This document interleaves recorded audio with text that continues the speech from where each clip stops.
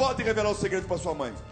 Então, mãe, como você pode ver aí, como você se intromete muito na minha Ah, vida, tá. eu arrumei um emprego pra É, você, vai trabalhar com você. todos os benefícios. E o emprego é Vai trabalhar você. você assustar casa. Ah, Você vai assustar você. Assustar Vai casa. assustar. Como é que é o negócio? Oxe, Assustar casa, João. Como assustar a casa? Os inquilinos que não pagam aluguel, ela vai vi chegar e vai assustar eles. Por quê? Pra eles saírem da casa. Assustá-los. Assustá-los. Isso é um emprego? Isso. Quer dizer Nunca então vi que é isso, aqui, ó.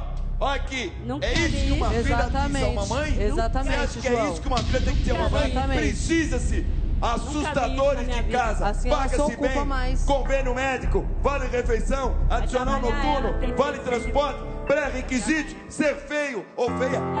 Dizer pra uma mãe? Exatamente, João. vai Assim ela mãe? ocupa mais. É assim isso ela... que te diz a mamãe? Exatamente. Trabalhar ela que Exatamente. o Exatamente. Quer dizer que você, olha, eu não vou nem dizer mais nada.